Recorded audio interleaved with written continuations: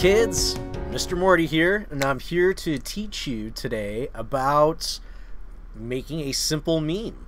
Uh, so, uh, you can pretty much use almost any program you want out there. I'm going to be using Photoshop because it's the most used, and uh, it's pretty uh, affordable for uh, even students for you out there to use. If you have a student email, you can get a pretty big discount from them. But there are a lot of free alternatives out there, and uh, a lot of them are basically clones of Photoshop. Uh, so a lot of the, well, mostly what you're going to be learning today is technique, okay? And how to use the tools. And these are basic tools, like I said, that are common amongst almost all image manipulation programs. Okay, so let's try it out. So we're going to be doing two different kinds of uh, memes today. One is going to be a really simple one that's just going to be a picture with words on it. And then the other one, we're going to complicate things just a little bit more. We're going to have two pictures that we're going to bring together. We're going to have text above each one. And then we're going to put in a talk bubble with, uh, with them saying something, the people in the picture saying something. All right, so it's not going to be that complicated and again this these are memes. They don't have to be perfect. In fact sometimes they're funnier when they aren't perfect. Okay so really it's just trying to get a point across in it. All right? So uh, we'll begin with the really simple one first. So first we're going to go into photoshop here. All right so this is photoshop when we first begin here. Uh, when you first open it and you can see I've made a couple memes already myself just in my free time as for fun or whatnot. And so uh, yeah we're gonna first go over to create new okay? And from in create new we're going to pick something out. So if this is going to be for the web they got certain sizes for that. Uh, and you know we're gonna say um, we're gonna say that this is just for art and illustration. Um, and then over here for the width we can change this to inches or pixels. If we have it on pixels well uh, you know usually we can go by like 1080 by 1080 or something like that which when we have the both numbers the same it makes a perfect square okay? Uh, but we can change these numbers as we see fit whatever we want okay? So we're gonna say that this is gonna be uh, 1080 by 1080 just a nice square okay? And we're going to change our resolution down to 72 because this is going to be for the web. We don't we're not going to print this out we're just going to put it up on you know whatever social media we want to use right? So uh, once we set that up everything else is good our color mode is an RGB we're going to hit create okay? And now we've got our square that we can start creating our meme from okay? Now this might not be the the size that we end with okay? What we're gonna do is eventually crop it okay? And the crop tool is gonna be this guy right up here okay? Kind of looks like a frame right there all right? And that again these symbols are gonna be the same pretty much in a lot uh you know in almost any other kind of photo manipulation program. They're going to be very similar. These tools are good uh, even if the, the symbols are different the names are going to be the same okay? So uh, first, we're going to bring in our picture. So you, normally what you're going to do is probably go onto Google. So I'm going to bring up my Google here. Hold on one second here. So we go to Google and we type in something like ocean view. Something like that. And when then we want to make sure we come up here and click on images and the header up here. And now we can see all these images of oceans okay? So you can find one that you like.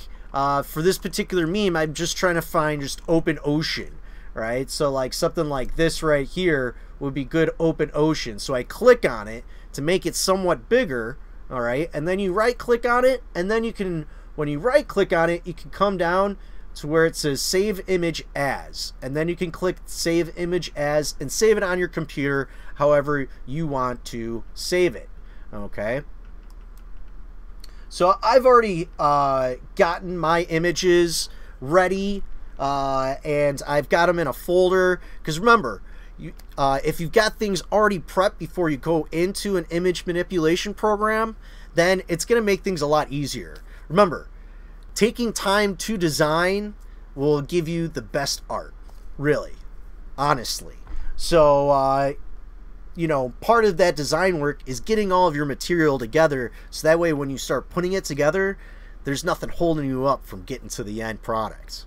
Okay, so uh, first thing we're going to do is we're going to bring in our image. There's lots of different ways that we can bring in images into Photoshop.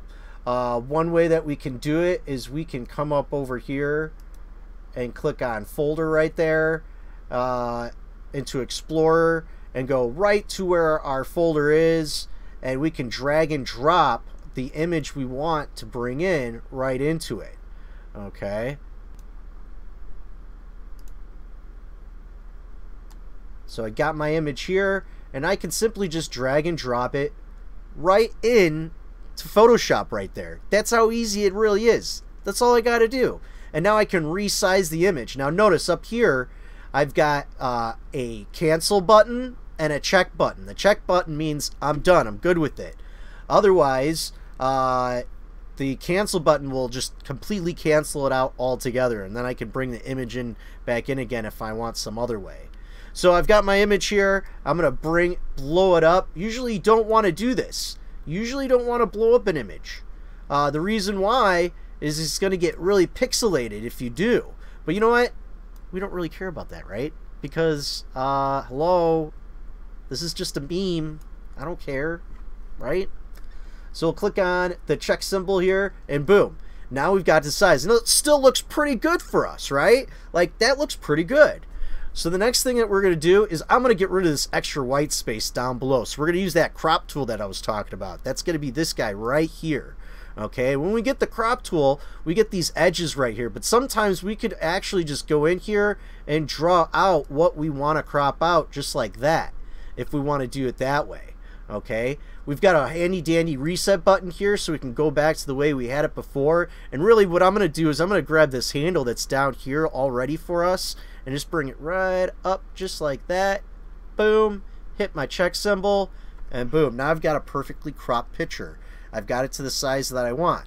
Okay, now we could also just open up the image right here in Photoshop, just like so. Open, come in here, we go to the folder in which we have it in.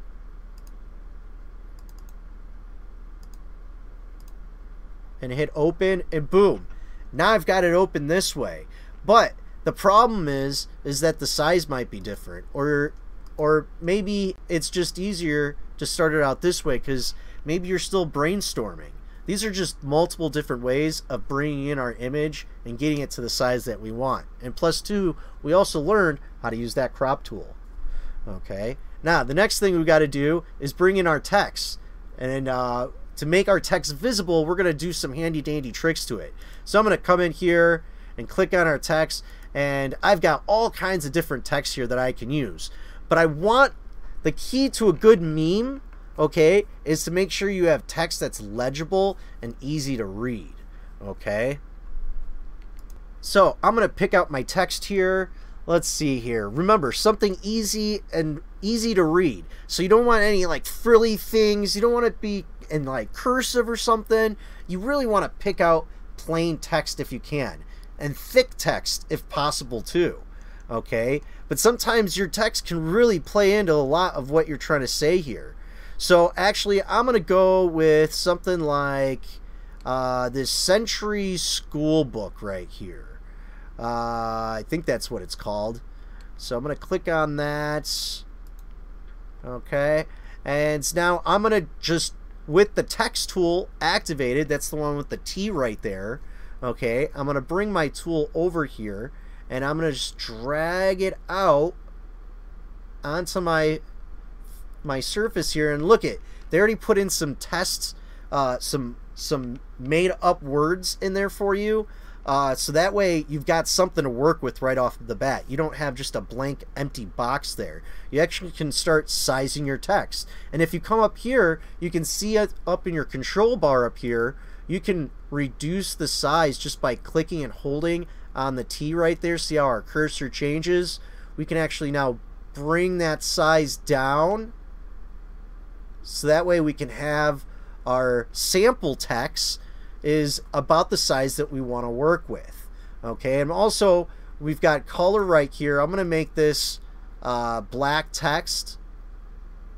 Or actually, I'm going to make it white text. Okay, but I'm going to put a black stroke around it. A stroke means an outline around the text. Okay, so uh, we're going to go ahead and uh, click our checkbox for now. Okay, and it is just a bunch of made up words right now. But if I come over here to my layers panel, that's over here. Okay, now our layers panel works like sheets of paper stacked on top of each other. All right, our backgrounds layer is going to be towards the bottom, whereas our text layer that's right here is going to be at the top. All right, and we can rearrange these if we want to by clicking and holding. See how our, our cursor changes into a fist? And we can actually rearrange where these layers go so we can rearrange where they're, how they're stacked. Okay, so I got this text layer up on top. Now if I double click in an empty layer right here, I can actually bring up my layer styles panel. Okay, and with this layer styles panel, I can click on stroke. Okay, and if I click on it and turn it on and actually click on the tab for it, I can go in here and change the things like the size here.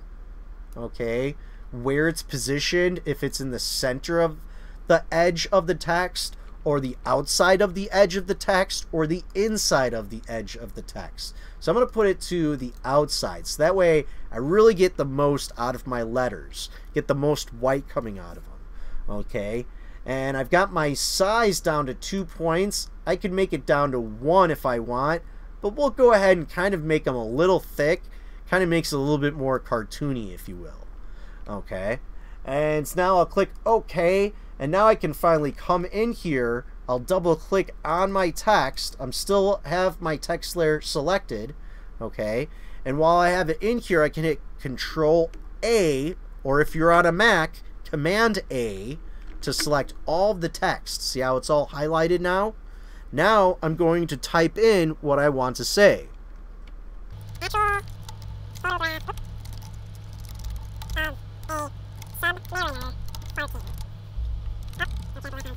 Uh, we are not afraid to use some lowbrow humor in memes, are we? And uh, we'll go ahead and kind of size that up so that way Submariner and farting are on the same line. We'll hit our check symbol up here. Wait, actually, before we hit our check sign, let's go ahead and also just clean up the size of our text box. So that way we don't have a bunch of empty space on our text box, making it so if we click on it later on, click in that empty space or try to move something around, we don't accidentally select our text box instead. Alright, now we'll click on our check symbol up here and we'll click on our move tool which is at the very top of our toolbar up here and with our move tool now we can actually position this if you see those magenta lines that come up those are smart guides letting us know when we get into the center of an object and it's also using some pretty smart AI to look at the picture and let us know when we get to certain areas. And as you can see, it's putting it right on the top of that water. And if we want, we can actually bring this all the way down to the water if we want, or we again can just have it sitting right on top of the water like that. So that way our main subject matter for after people are reading is just the water right there. And boom, we've got ourselves a meme right there. We'll go up and we're going to go next go up to file, save as. We're going to go and say that we want to save it on our computer. And now we'll go and save it. We'll select the folder that we want to save it to. Remember, it's just as easy to save it on your desktop, but remember, you don't want to save too many things to your desktop, okay? You do want to find a folder to put it in to save it inside of okay so I've got a special folder all ready for this here alright and then I'll name it and I'm gonna call this Submariner meme and then I will select for save as type select my drop down menu here and I'm gonna select JPEG because that's probably the most well used, best uh, uh, image format for us to use uh, to put up on the internet. Okay, but we could also use a PNG if you want uh, as well. A lot of uh, social medias uh, will also accept PNG uh, if you want to use that instead. Uh, then we'll hit our save button after we've named it and we've verified what type of file we want and hit save. Uh, we'll make sure that we put our image options up to large and hit OK. And boom, now we've got our first meme done. Now we'll go on to our next meme that we're gonna we're gonna start up, and this one we're gonna bring two images. So we're gonna double the size of our canvas. All right. So, all right. So this next photo uh, or this next meme uh, is kind of gonna be a Father's Day themed meme. Okay. Uh, so uh, I was thinking, uh, well, let's take two characters in pop culture. Let's say uh, Captain America, and we got Darth Vader, right? And the meme's gonna basically go on the top when you call your dad your hero, and then it shows Captain America going, "Hey, I could do this all day long," and then uh, then when you call your dad dude, and then it's Darth Vader going, "No, I am your father." Kind of a funny meme, right? perfect Father's Day, kind of something every dad kind of jokes about maybe. Uh, this might be a kind of a fun meme to do. You can of course change it up. This is just an example. You can make your meme anything you want it to be. Uh, this is just an example for you to try out if you want. Um, you don't even have to make yours. The biggest thing is just to learn the techniques that I'm about to show you for it.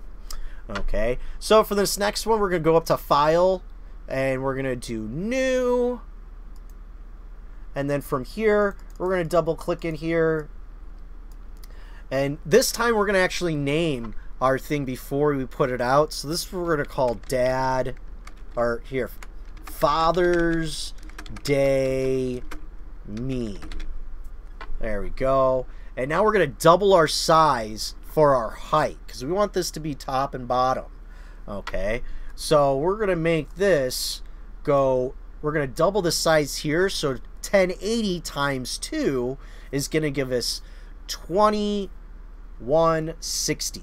Okay, so we'll do that. 2160. Okay, and we're going to hit create. And again, we're going to keep our resolution at 72 and our color mode at RGB. If you do want to print this out for dad, for a Father's Day card or something like that, then you can change this to the resolution of 300, but your images still will come out very grainy because you're going to have to really blow that image up.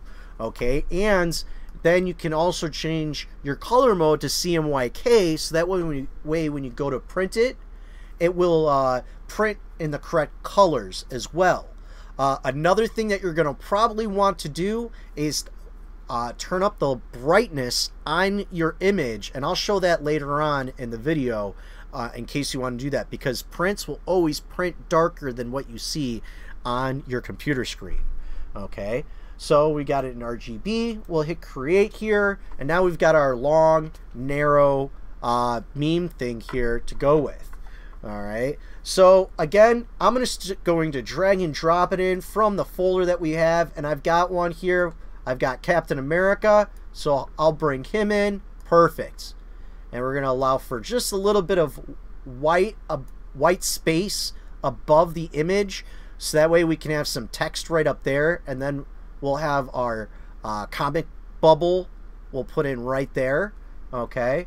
And then we'll go ahead and bring in our Darth Vader next. Oh, wait, we got to hit that check symbol up there don't want to forget that. If for some reason things aren't working, uh, it might be because um, it might be because you still need to hit that check symbol up there. Okay, so we're going to hit the check symbol. Okay. Now it's hit. Now I can actually do stuff again in Photoshop. Photoshop will stop you from going any further if you haven't hit that check symbol up there. Okay, and that's the same for almost any kind of tool that you're using in Photoshop that uses the check symbol up there. All right, so we're going to go again. I'm going to go back into my folder here and then bring out the Darth Vader. Okay. I bring Darth Vader in. He's a little bit smaller, so I'm going to have to blow him up. That's okay. So what I'm going to do is I'm going to bring him down here into the corner here. And then I'm going to pull him up this way.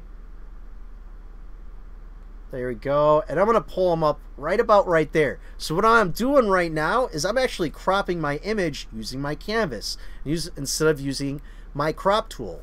Remember, there's lots of different ways to uh, do different things in Photoshop, okay? So again, these are all learning experiences that you're getting here. So we're going to come up here. We've changed our size. We got it to the way we want. We, uh, we've got a little room for text here. All right, and I can actually bring my image up a little bit if I want, and I can always crop out the extra white later on. But I'm going to keep it the way it is for right now, just in case I need that extra space for text. We'll see how it goes, right? All right, so next thing that we'll do is we got our uh, we got our two images in here now, and then what we'll do is we'll come in and we'll put in our text for what we want to say in our different spaces here. So we'll bring out our text tool. We're going to keep our uh, font the same because I like that font for a meme. I think it's good meme font, I guess you'll say. But again, you can use whatever font that you want. All right. Uh, whatever's installed on your computer, really. And then I'm going to drag out my text box just like so here. Okay. I got to change my text frame size uh, as you can see, it's all highlighted in black right now. I'm not actually seeing any text. That's telling me, okay, that's indicating to me that my text is too big. So I'm going to go ahead and bring down that size by changing my font size by clicking and holding on here. I can also use the drop down menu to change my size, my font size, but I want to make sure I get it to a good size that I want to use. Okay. Also, why it's all dark is because, well, I'm using white on white backgrounds. So I want to make sure that I change my font color as well back to a black. So now, as you can see now, I can actually see my text. Okay. And, uh, and I've done this all before I've actually typed anything out. That's what's great about the newest, the latest version of Photoshop is that it actually puts out some sample text so you can actually uh, get your text down before I actually type anything out on it. So I'm going to get this to a good size that I think will work. All right. And now I can just start typing. It's already highlighted, so uh, before I hit that check symbol, I can actually just start typing if I want. So I'm going to put in here when I or when you call dad your hero. Period. Really simple. And now what I'm going to do is I'm going to uh, highlight all of my text so I can resize it. Okay, you got to do that if you want to resize all of the text again. You have to make sure that it's all highlighted so it knows what text you want to get, what text you want to be resized. Because you could have other text in here that you don't want resized. You could make it so uh, you could have hero right here just highlighted and change the size of that so it's nice and big. So that way it's emphasizing hero. So I could have it that size, okay? But if I want to change it all at one time, I do have to select a size all at once, all the same, and then resize it, okay? Now, what I could do is take it to this size, then take the word hero and make it bigger, like so. Okay? And then what I could also do is instead of being in lowercase, turn on my cap locks and type in hero in uppercase like that and then hit my check symbol. All right now I want to move my text so that way it fits in here just right so I'm going to take my move tool and bring it down so it fits in there just right just like so. And now I'll go back over to my text tool and type out what I want to type next down here. I'm going to make it to the size of my text box here, and then I'm going to make my sizes bigger again, okay? And then I'm going to type in when, oops, make sure I turn off that cap locks. When you call dad dude. And again, all caps, like that, okay? And then what I'm going to do is highlight this text And what I can do is I can make it the same as this one. What I did was I just came up here and double clicked on the text, automatically switched me to my text tool, and it tells me it's at uh, 91 for the size. Okay, so then I can come back down here, make sure that this text here is at 91 as well. I can just come in here and type it in and then hit my tab key. It gets it to the right size. And then for this one, for hero, this is at 136. So for dude here, 136. Hit tab. Now it's as big as the dude that's up there. I'm going to also make my period the same size as my other text that's just above it. Hit tab. Okay. And boom. And then I'll hit my uh, my check symbol up there at the top. And boom. Now I'll use my move tool to make sure I get this right in the right spot I want. It looks like it's about the same size or same height as this up here. But then what I'm going to do is I'm going to select my Darth Vader layer over in my layers panel. And I'm going to move Darth Vader, Darth Vader up just a little bit more. Just like that. Now, Darth Vader's in here just right with just enough space around my text for each part right there. I can now use my crop tool to come in here and crop this right at the bottom. Notice what my crop tool do is doing too. It's giving extra space. It's showing you in areas that are dimmed out what is still there. Remember, Photoshop is non-destructive, meaning that it's not actually destroying anything. You can bring these things back. That's why we have things like layers. Okay, so now we'll go like this. We've got it to the size we want. We hit our check symbol to complete the action, and there we go. Now we're going to bring in our talk bubbles.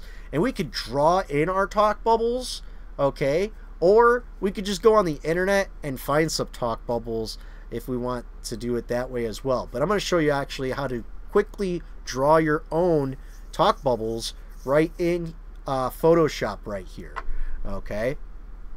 Uh, to do this next part, we're going to use the pen tool. Okay, now the pen tool is going to be down here. It looks like a tip of a fountain pen. Okay, and we're going to click our pen tool. And what we're going to do is up here in the control panel, which is going to be up here at the top, okay, we're going to select shape instead of path. Okay, this is going to make it so it's going to create a shape for us that we can make whatever shape we want with whatever color we want on the inside and then the outline which again we call a stroke is gonna have we can choose whatever color we want for that stroke around the outside okay there's a lot of cool things that you can use with this pen tool okay so not only making talk bubbles is something that you can do with it but there's a million other kinds of cool stuff you can make characters with the with this pen tool you can make all kinds of cool artwork you're not just uh, you know it's not just to what we're doing here, okay? Remember, you can always break the rules when it comes to art. So we're going to come up here to our fill color. Fill means what's going to be the inside color, all right? So we're going to change that. We're actually going to keep that at white because we want to make it white background with black text on the inside, just like what we've got up above here, okay? So then we're going to come up here to stroke next, and we want our stroke, our outline, to be black. Okay, so we have it like that. All right, and now we'll come in here. We'll keep our pixel size for our stroke. We'll bring that up to 2. Space, and then tab over to complete that action. Okay, and then we're going to come in here. Now, if I want to zoom in on my... Uh, my canvas here so I can get a closer look so that way I can make a better talk bubble okay so I'm gonna hold down my Z key and as you can see when I hold down my Z key my cursor becomes a magnifying glass with a plus sign in it. So I can actually come in here and just click in the area I want to zoom. Okay now if I want to zoom out all I have to do is hold down the Z key and then also the Alt key. And that will give me a minus sign in there and I can zoom out now. Okay so now I'll come in here and I'll actually start making my talk bubble. So I'm going to make a circle. Okay, so first I'm going to make it so I get the V shape coming in here. So I'll click in one spot and I've got one point. I'll click another and it's made a line for me. Okay, now I got to make the bubble part. Okay, so I'm going to come over here to where I want the top of my bubble to be and go like this, but then I'm going to pull, while I'm still holding down my left mouse button, okay, I'm going to pull it out until I make it kind of as round as I want it to be, right about there, okay. Now I'm going to go to is where I want my top, how, for as how wide I want my talk bubble to be. So I'm going to go right about here, and boom, look at that. Photoshop's so smart that it automatically rounded it out for me on the other end right here. Look at that. I almost have, I have half a talk bubble now. So now I'm going to go down to where I want it to go down the furthest to, the lowest point I want it to go. Okay, so I'm going to say right about there, right in the middle, and I want it to be about in the same area as the top one that I made right there. So that way it makes a nice round bubble for me. So I'm going to go right about to here, like so. And for this one, I do have to I do have to go and make it round. So I'm going to kind of, while again, I'm still holding down my left mouse button. I'm going to kind of round it out here, just like so. Boom, just like that. Now I'm going to go to where I want my talk bubble to end. So I want it to be kind of like this because I want a triangle here. So I am going to click in the white space here. Okay, don't be afraid to do that because watch what's going to happen now. I'm going to come right here so I'm right below my uh, my point right above, just like so. I'm going to have it right about to there. I'm going to click and hold. Okay, and as you can see, it already made it round for me, so I can let go. Now I've got a talk bubble right there. Now I can come, and if I go and I hold my cursor right on my first point that I created, you can see my cursor now has a circle in the corner of it. Okay, in the bottom right corner of it. All right, circle usually indicates initial in a lot of different formulas and things like that. In this case, this is telling us we're back at our beginning now. Okay, completing our shape. So I can click this and boom, now I've got a completed shape. Okay, and now I can come in here, take my text tool, grab that out, okay, and pull that guy out. Oh, look at that. I click in it, and it automatically changes my, puts a text box right on my shape right there, ready for me to type in there. How cool is that? Okay, normally you could just draw in where your text box box is, but again, Photoshop, this is why Photoshop is the best, because they make these automatic responses happen when you use your tools. So now I can just come in here and resize this to get it to the, the size that I want to include enough text in there. And then I'm going to say, No, comma, I am, am your father. Okay, I can come up here and kind of re hit some enter a couple times so I can get this in here just the way I want it. Just like so. Of course, there's a lot of other ways you can get that text to fit in there just right. But this right here is, you know, just using your enter button for return and adding space and putting returns at certain spots works just fine. Remember, this, this is just a simple meme creation. We're not going to get too detailed in here, but I will bring my size up just a little bit to add, to add the readability right there. And so there you go. It says, no, I am your father. And then we'll come up here. Now, one faster way that we can move around when we're zoomed in is we can also, while we don't have our text tool selected on anything, sometimes it's best to select your move tool if you want to start moving around.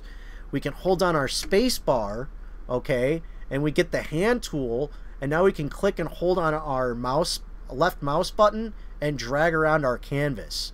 And then as soon as we let go of the space key, we then um, go back to the tool that we had before. Okay. Now, what I can do instead of remaking this again is I can use my move tool, okay, to take my, uh, to select my shape here. And if I hold down my alt key, let me zoom out. Remember to zoom out, we hold down the Z key and then the alt key. Okay, it gives our cursor the magnifying lens with the negative sign. I can zoom out, okay, and then I can hold down my spacebar to go back. Okay, I got my move tool now, and what I can do is I can come over here to my layers panel, make sure I click on my text layer that I've created that says no I'm your father and then hold down shift and select the shape layer that's underneath it which is going to be our talk, talk bubble. Now if I hold down the alt key on my keyboard okay notice my cursor gets that double arrow to it.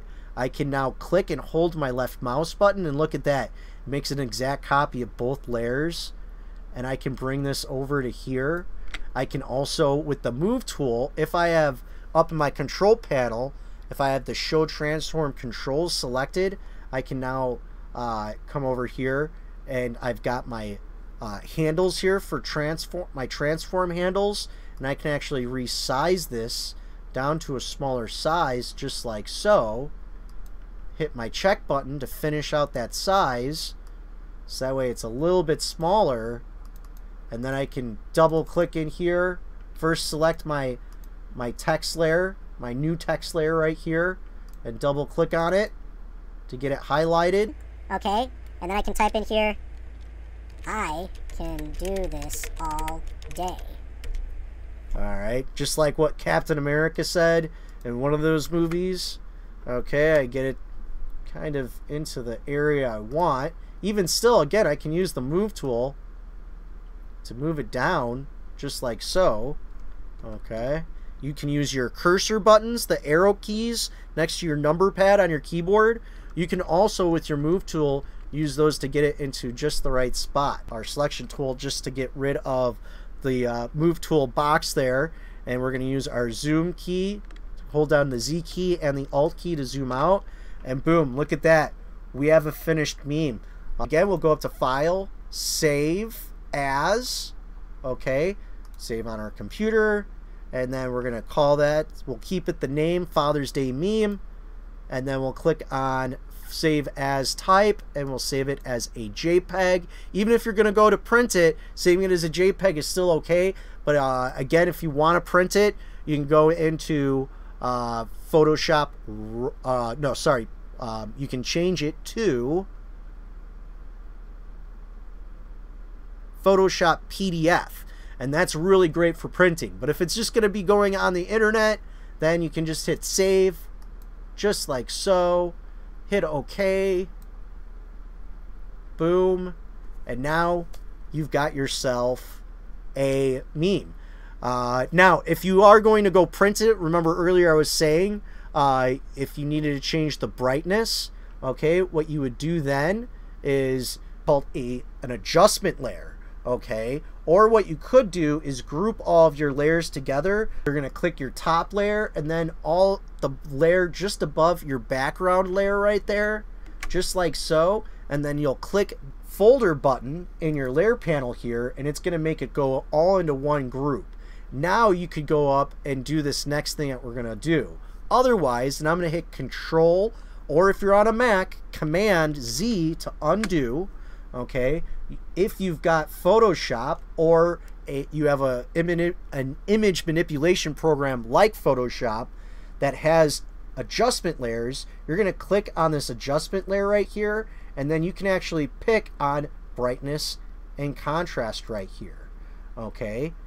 And that's going to actually make a layer where you can actually change your brightness and contrast for the entire image and all you want to do is make it just a little bit brighter. Even if it seems too bright to you on your screen, it's going to be a lot darker when it prints. Okay, so usually I like to set my brightness up to 20. 20 above what I was working with on my computer.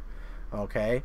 Otherwise, if you do it the way I mentioned before, where you group everything together, you're going to go up here to Image, Adjustments, and then you're going to select Brightness and Contrast, and you'll get this box right up here where you can change it. Making this change, though, will be permanent, okay? Uh, in most cases. So a better thing to do if you have that ability is to use your brightness and contrast adjustment layer. Okay, that's going to conclude our video now. Uh, I hope you learned quite a bit from this. Uh, remember, any point you can stop it and rewind it, and you can replay this video as often as you want, so that way you can really learn these techniques. Uh, if you have any questions, uh, as to any of the tools that I used here or any questions specific to an image manipulation program or how to create more memes. Uh, again, you could uh, go to Google or YouTube and make sure using your the right keywords you can find the question the answers to any question that you have out there.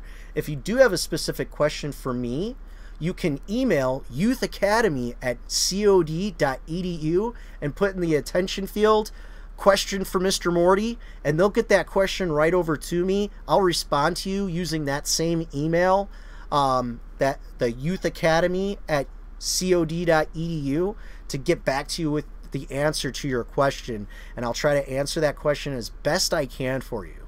Okay, uh, I miss you guys a lot, as I'm sure you guys miss me in our classes, uh, but.